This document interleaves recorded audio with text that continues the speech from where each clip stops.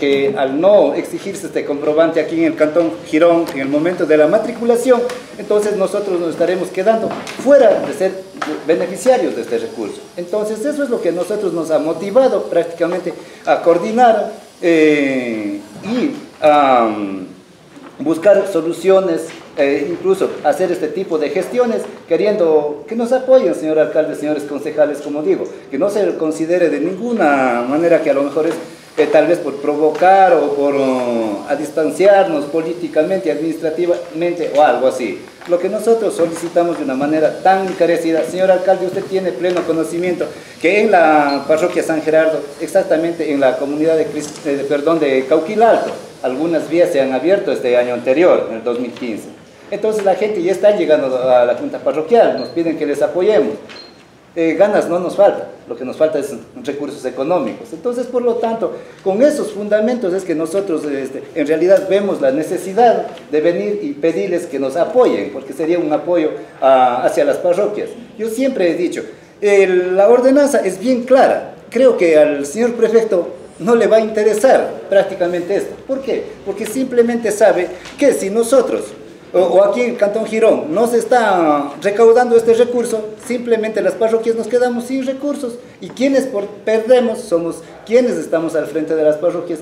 Esta ordenanza está en vigencia desde el año 2007 y desde el año 2012, gracias a la lucha de los gobiernos parroquiales de la provincia de La Suay, prácticamente se ha destinado estos recursos a los 61 gobiernos parroquiales de la provincia.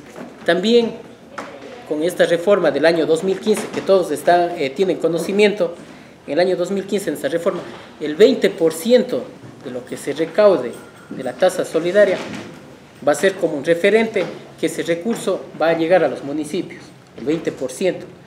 Si es que estimamos que alrededor de 5 millones de dólares se recauda aproximadamente cada año, eso implica que va a haber un millón de dólares para los cantones, que más o menos un aproximado de 80 mil dólares va a llegar a, llegar a, nuestro cantón para el mantenimiento vial en las comunidades periféricas. ¿Qué es una voluntad política? Sí es una voluntad política, porque, porque si es que no hubiera la voluntad política, no estuviéramos de aquí hablando de este recurso. Que estos, estos recursos nos aseguran que todos los años vamos a tener un, recurso, le caigamos bien o le caigamos mal a la prefectura, es, es eso, nosotros tenemos este recurso seguro entre, en nuestros 61 gobiernos parroquiales. Eh, también eh, es un recurso que genera fuentes de trabajo. Vean, nosotros con el recurso de la, de la tasa solidaria que nosotros estamos liquidando el año 2014, nosotros tenemos a ocho personas que trabajan en la microempresa vial. Ayuda a ocho familias en la parroquia. No nos avanza. Nosotros tenemos más de 100 kilómetros de vías en la parroquia. Y como les manifiesto, nosotros hemos avanzado 21 kilómetros. Pero estamos avanzando. Es el único, como les manifiesto y les reitero, es el recurso que, que tenemos seguro y es lo que queremos, el apoyo de todos ustedes, señoras, señores concejales, señor alcalde, el apoyo para poder avanzar. Eh, ustedes mismos han sentido la necesidad, un ejemplo, en la comunidad de Pichanillas, que, estamos con una, vía en, mal estado. Si tenemos este recurso, de acuerdo a nuestra planificación en, el año, en este año, nosotros vamos a echar esas vías. Entonces, vea, eso es lo que nosotros requerimos, el apoyo de todos ustedes. Y yo sí les pido el día de hoy, yo sí quisiera escuchar el pronunciamiento de cada uno de los señoras, señores concejales, a esta propuesta que estamos planteando.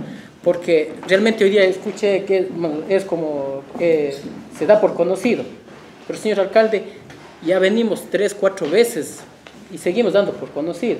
Yo sí quisiera que ya se tome una resolución por tranquilidad de nuestra población, por tranquilidad de nuestros recursos.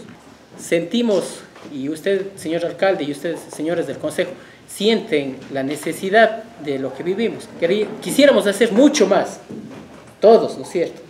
Para no, no recibir hasta críticas, pero realmente los recursos son limitados, es lo que nosotros sentimos en todas las áreas. Pero vea, si es que tenemos este apoyo, deberíamos apoyar.